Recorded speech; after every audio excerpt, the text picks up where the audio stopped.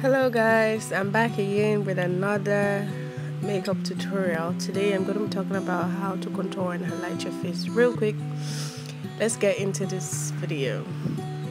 So I'm using the LA Girl Pro Coverage Foundation in Warm Caramel.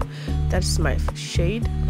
And I'm just going to apply this in a dabbing motion so everything sits well together with my skin yeah.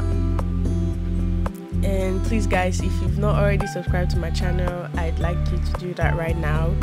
Just click on the subscribe button and then you'll be able to get notifications when i have new videos. Yeah. I'm applying same foundation around my forehead. I already primed my face too with the LA Girl um, face primer I'm going to be following this up now to highlight I'm going to be using the LA Girl Pro Concealer in shade Fun. I don't know if you can see that. I'm just going to highlight under my eyes or just around the T-zone area. Especially the areas where you want to pop. So you just put apply the concealer on that area. You can put a considerate amount you don't have to use everything. I'm already highlighting the corners of my mouth my cupid's bow and the bridge of my nose. This is very important. If you want your nose to be really contoured you have to do this step. I have to do it really well. Now I know you must have seen a lot of videos about contouring and highlighting but basically it's just about you what you want and what works for you. Now you can see I'm making sure my beauty blender is damp so I can use it effectively because if it is dry it's just going to mess up your work and remove your foundation and we don't want that.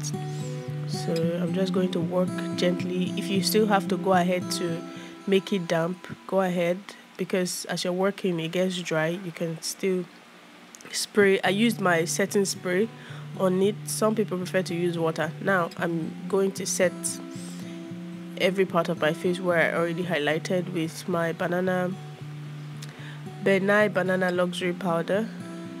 Just i'm using uh this um, wedge. It's called a wedge. Some people use their beauty blender when it's dry not a damp beauty blender now. You can use a um, beauty blender when it's dry but I prefer to use this wedge because it's easier for me but whatever works for you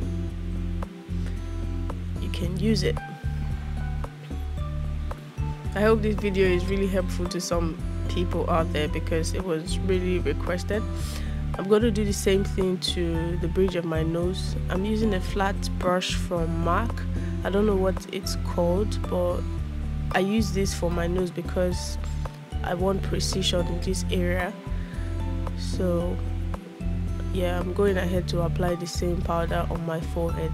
Now um, after your makeup like this is my process. After your makeup you before your makeup before you finish your makeup you're definitely going to have to blend out all this powder because you don't want um, you don't want to go out looking white like that.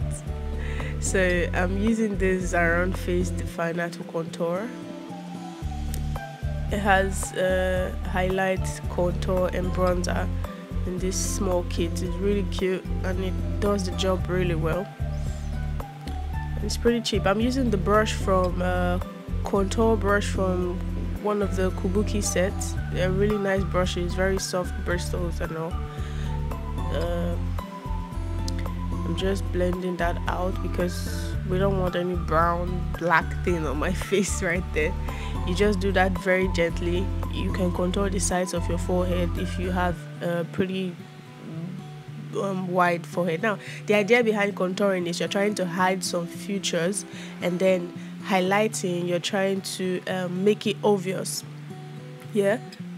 So all the areas where I highlighted with my concealer i'm using the powder to set. I want those areas to pop when um, you're seeing my face. And then the areas where i'm contouring i just want that area to be like really deep like to have some sort of depth.